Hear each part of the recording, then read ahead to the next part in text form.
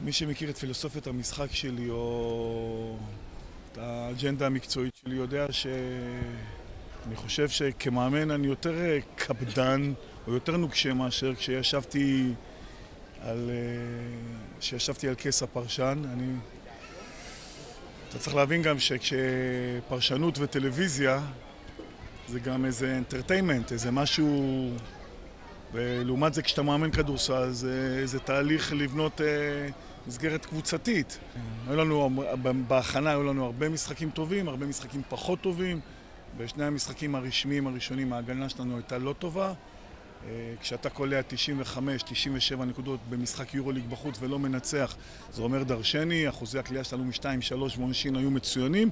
יש לנו בעיות בצד השני של המגרש, ואני לא מכיר דרך אחרת לפתור אותם חוץ מאשר עבודה קשה, סבלנות, אה, הבנה מה צריך לעשות. אני לא מכיר שום דרך אחרת. אז אני מעריך שנעשה את זה, ואמרתי את זה גם אתמול. מתוך 11 משחקים שהיו לנו עד עכשיו, הכנה ורשמיים, רק אחד היה במנור המבטחים. רק אחד נגד דרוש הפקה.